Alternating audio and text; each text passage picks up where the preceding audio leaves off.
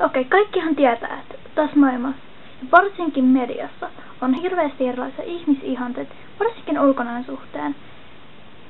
Yleensäkin median mukaan naisen pitäisi olla A. tosi laiha, B. tosi kaunis, C. pitkä, D. no aika feikin näköinen vissiin ja sitten semmonen no se tyyli pitäisi sulautua massaan.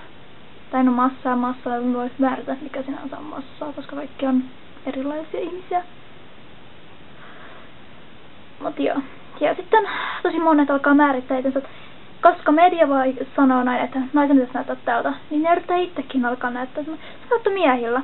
Et mediassahan miehillekin pitää olla lihaksikas, pitää olla komea, pitää olla jotenkin alfaurasta jotain. Mut kun ei se oikeassa elämässä ne mene niin. Et, ei, ei alkaa oikeasti niin kuin, ottako mediassa niitä vaikutteet, miltä pitäisi näyttää.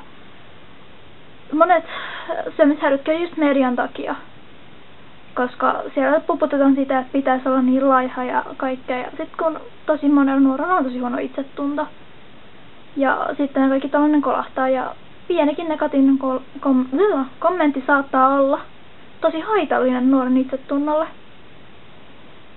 Ja sitten vielä kun kaikki on nyt enemmän netissä ja sinne ihmiset laittaa enemmän kuviaan, odottaa kommentteja. Ja sitten sieltä tulee tyyli, että hyi vittu kun oot läski. Niin se romuttaa kyllä, jos on vähänkään huonompi itsetunto ihmisellä. Ja se niin saattaa laukasta itse inhon. Ja se on, että sekin myös varmaan tulee sitten kouluskin.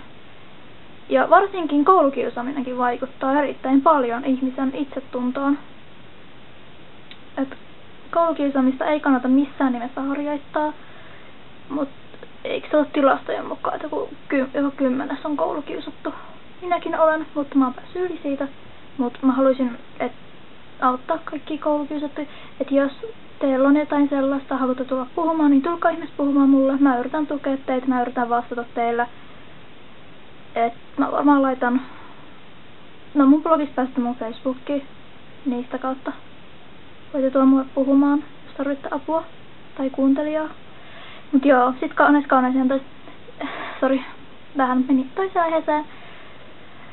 Et tota, se on, että jokainenhan on ainutlaatuinen ihminen. Siis kukaan ei ole täysin samalla mitä toinen on. Kyllähän jotkut saattaa näyttää ulkona tosi samalla, kun vaikka ne käy samassa kaupassa tai vaatteita ja näin. Kun ne on enemmän erilaisia tyylikategorioita, vaikka sanotaan nyt luokitellaan näin radikaalisesti emot. Vaikka niinku ns. tissujen mielestä kaikki emot näyttää samalta, No niiden silmissä ehkä, koska ne niinku on niitä niin erilaisia, ne näkee niinku omanlaistensa niinku erilaisuuksia paljon helpommin. Mitä vaikka niitä emoja. Ja emoja sitten, että emot näkee hirveästi niinku oman kategoriansa ihmiset tosi eri lailla. Näkee ne pienet erotkin, mutta sitten ne taas niinku näkee eli pelkkään harman massana. Ja näin.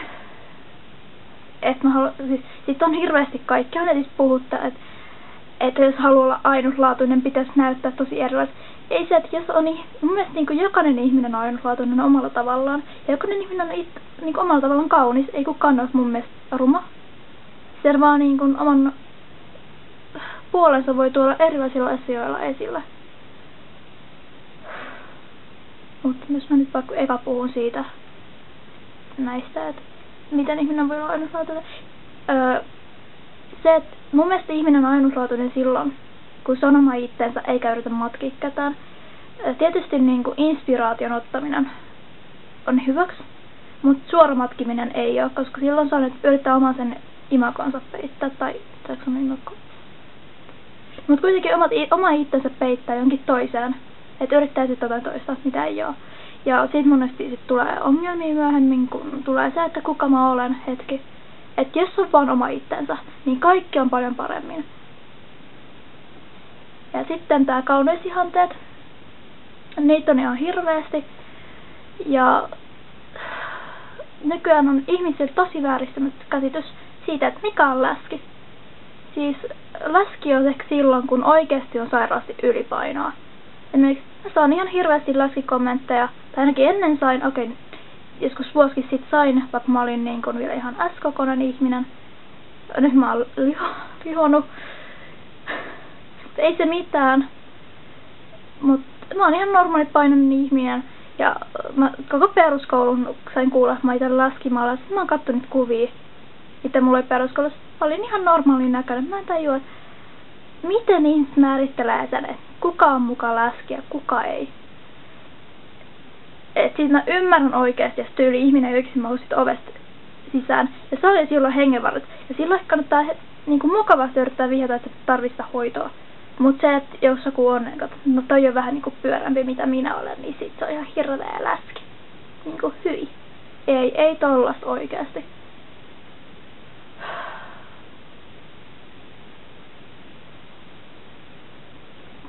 Sitten se, että ihmisiä hukutaan rumaksi. Miksi? Koska jokaisessa ihmisessä, ihmisessä on rumia että hy- kauniita puolia. Kukaan ei ole oikeastaan niinku ihan täydellisen näköinen.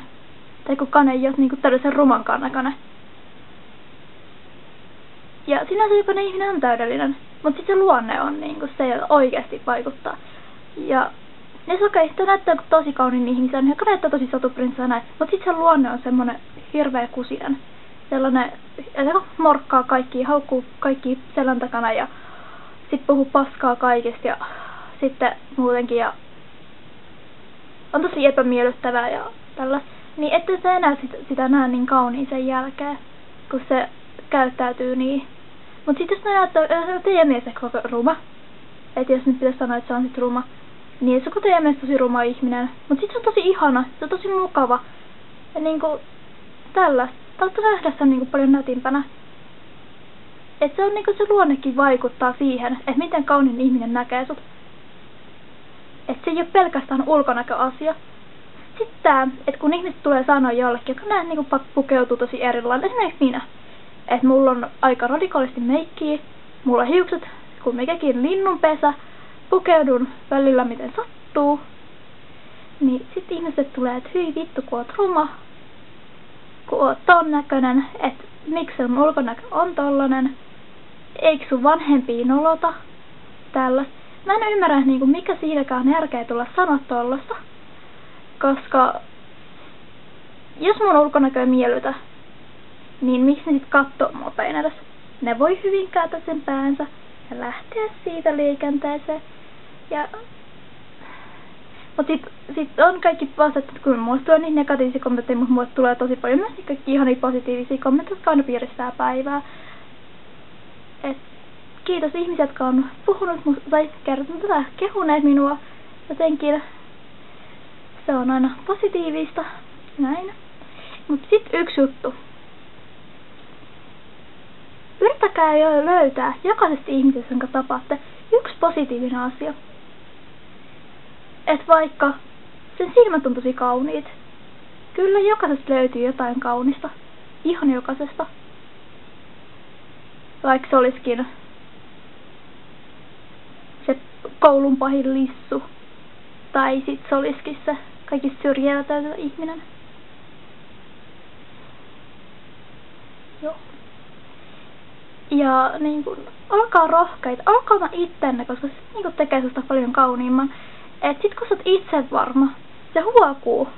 Ja niinku esimerkiksi pienillä sä pystyy sitä muokkaamaan ryhti, hymyileminen, että jos sä hymyilet paljon, se on niinku iloisen vaikuttamaan ja yleensä iloisia ihmisiä pidetään vähän nätimpään kuin semmosia tosi yrmeitä, se on se vittu elämä niin paiska. Vaan niinku ryhtiä hymyä ja olkaa iloisia. Oh, ja näin.